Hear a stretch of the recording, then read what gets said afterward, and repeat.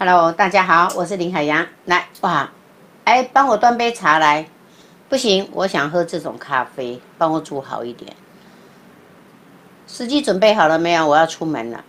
嘿嘿，你想不想 过这种生活啊？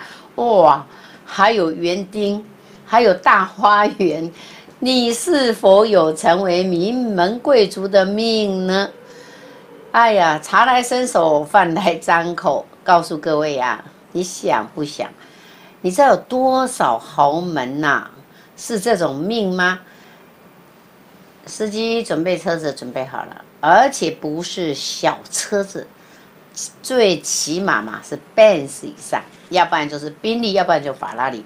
好，那你家里呢住的是什么？哇，开玩笑，那才几亿的豪宅呀！好，我去过信义之星。因为有朋友住在那儿，我就进去过了。然后呢，我去过呢，台湾仁爱路最有名的豪宅叫什么？地堡。好，所以呢，哎，我的有一些朋友住在地堡呢。那你想想看啊，你是不是可以沾到很多呢富豪贵气呢？当然，这中间呢，到底呢，你的命格有没有呢？我们先来检视一下。如果你的命格有的话，那就恭喜你了。谁不想飞黄腾达啊？这辈子就享尽荣华富贵呢？你知道以前呐，古代呀，是不是有上京赴考，当了什么？考上了状元以后呢，把他的糟糠之妻给丢弃了，然后呢，入主了什么？给公主呢遭罪了，给皇皇上的女儿遭罪了。你想想看，也有这种哈，这种叫做。陈世美呀，我们大家都很清楚吧？陈世美有听过吧？没听过，年轻人没听过。下一次呢，去找一本陈世美的那个，呃，网络上哦都有的，应该可以找得到来看一下吧。就是抛弃了他的糟糠之妻，好，现在还是仍然有哦。好，你是天生呢，还是机会，还是有钱人、达官贵显呢？真的有些人的命哦，就是超级好的，一生下来含着金汤匙出世，拿着金饭碗，哇天哪，那你多开心呐！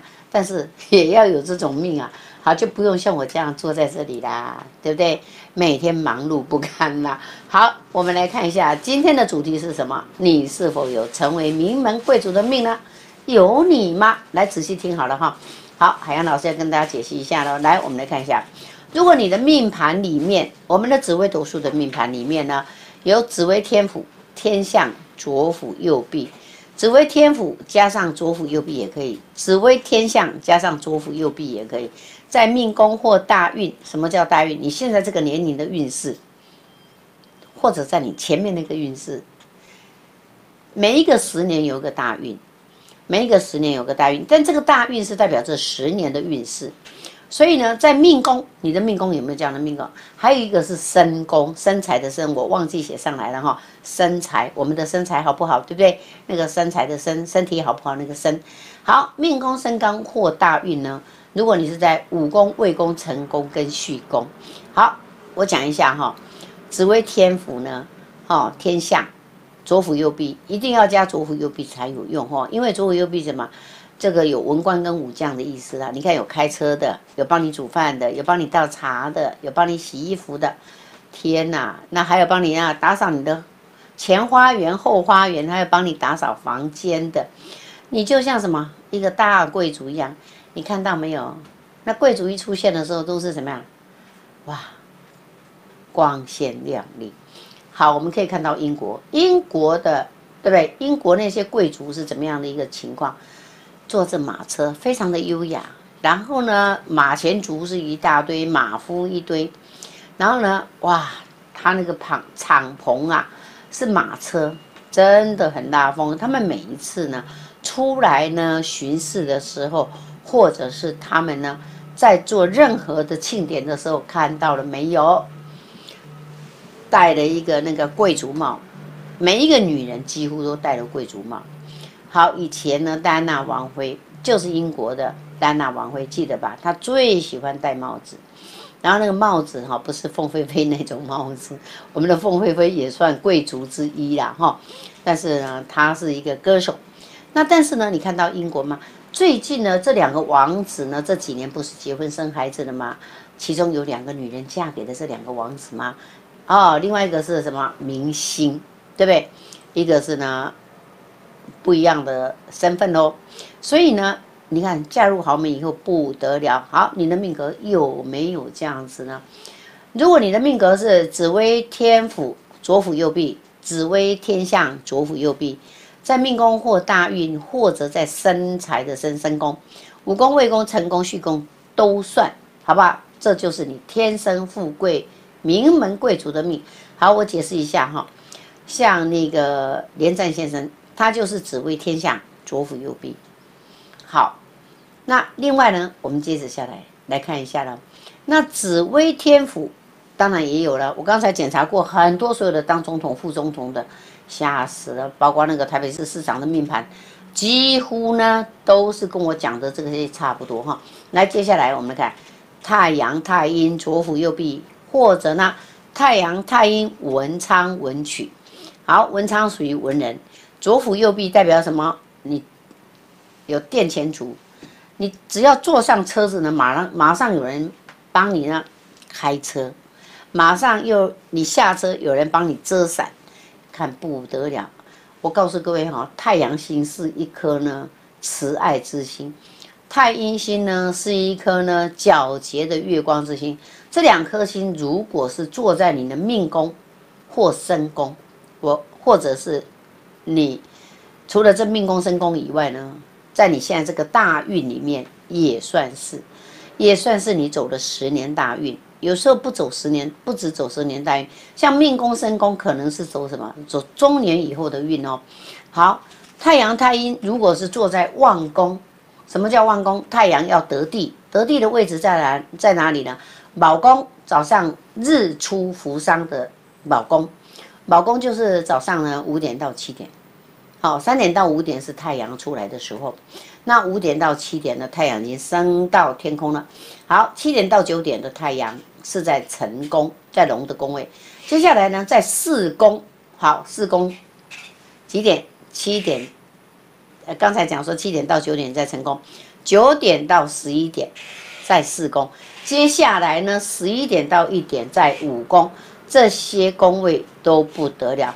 好，如果你是坐在呢丑宫、未宫、巳宫跟亥宫。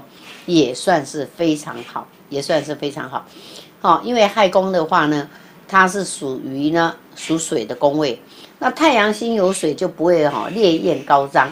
好，那四宫的话是属火，那丑位属土哦。好，如果你的命宫、身宫在丑宫、未宫、巳宫、亥宫，也是富贵名门之命。好，接着下来我们来看一下另外一种命格呢，紫微化权天府，左辅右弼。或者是武曲星，好，在寅宫、申宫、巳宫跟亥宫，在这个叫四生地哈。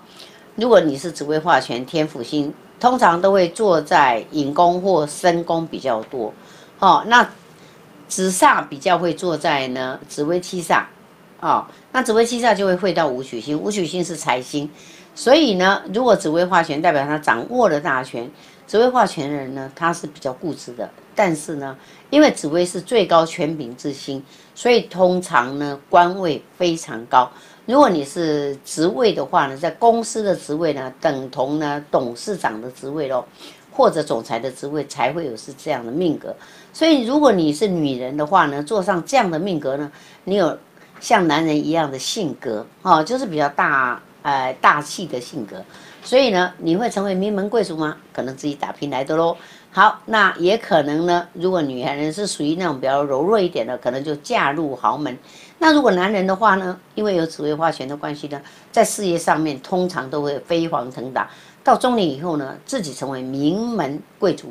好，这种名门贵族有可能就是，呃，去选举选上了什么副总统、总统啊，哦，然后呢还选上了什么？要不然就是选，诶，当上了行政院院长啊，例如这样。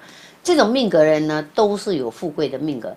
好，接着下来，我们来看下一种呢。